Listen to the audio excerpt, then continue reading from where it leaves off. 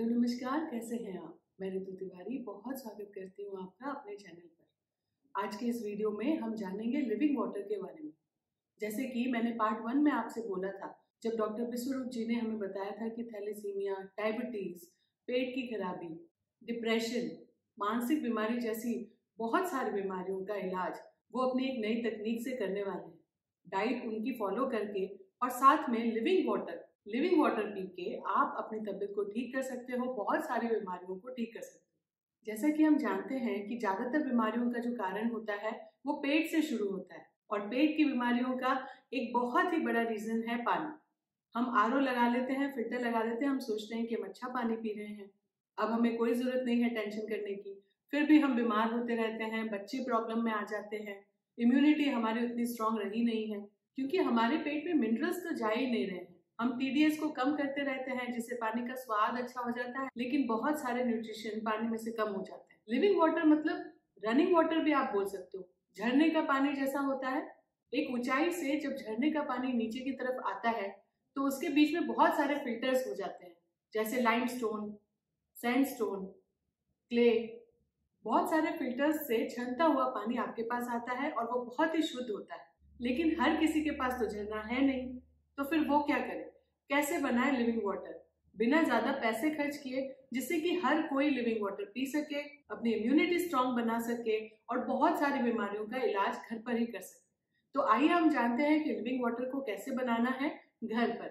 तो आपसे एक रिक्वेस्ट है प्लीज़ चैनल को सब्सक्राइब ज़रूर कर दीजिएगा।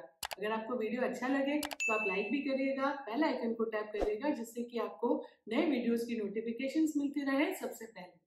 तो आइए डॉक्टर विश्वरूप जी से सीखते हैं कि लिविंग वाटर कैसे बनाना है। अभी आप सीखने जा रहे हैं लिविंग वाटर कैसे बनाएँ। लिविंग वाटर मतलब स्प्रिंग वाटर झरने का पानी that is the best water आपकी बॉडी के लिए। या तो आप झरने के पास चले जाएँ।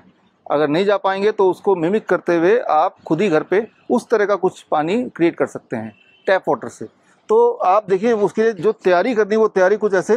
पहले तो कुछ पत्थर इकट्ठे करने हैं आपको। जैसे ये पत्थर है, ये मोटे पत्थर है, इस तरह के पत्थर। और उसके उससे थोड़े और फाइन पत्थर वो ये है, और इससे भी फाइन पत्थर वो ये जो आप देख रहे हैं, और उसको धोना भी है आपको, करीब पाँच छः बार धोना है, और उससे भी फाइन ये सैंड ये भी इकट्ठे करने और उसको भी तीन चार बार, पाँच बार धोना है, जैसे अच्छी तरह धोना है, फिर पानी चेंज करना है, फिर धोना है, और इसके अलावा आपको इस प्रकार के मोरिंगा सीड्स आप देख रहे हैं, ये इकट्ठे करने इसको पाउडर बना देना है, इसके। और फाइनली ये चारकोल आप देख रहे हैं वुड चारकोल तो ये इंग्रेडिएंट चाहिए, इसके अलावा ये कॉपर का प्लेट ये चाहिए। अब आप तैयार हैं अपने लिए लिविंग वाटर बनाने के लिए। ये तीन मटके आप देख रहे हैं, पहला, दूसरा, तीसरा। ये मटके में तो पानी कलेक्ट होगा और ये जो मटका इस मटके के नीचे, यहाँ पे आपने होल्ड कर दिए। तीन या चार होल कर दिए छोटे छोटे होल, बिल्कुल। इसके अंदर, आधे मटके में, आधे मटके तक आपको ये पत्थर भरने हैं, उससे छोटे पत्थर भरने हैं, उससे छोटे पत्थर भरने हैं, और ऊपर से बालू डालते रहना जब तक ये भर ना जाए, और उसके ऊपर ये चारकोल ये डाल देना है। दूसरे वाले में भी लगभग ऐसा ही कुछ करना है, आधे तक।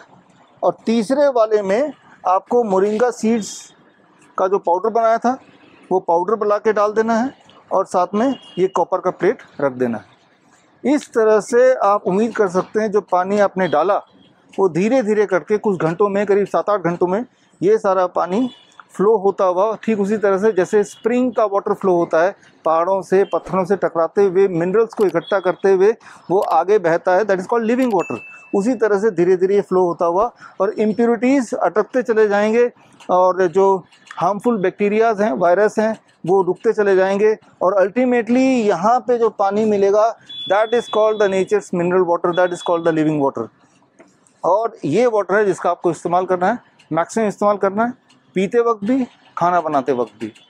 So this is your spring water this is your living water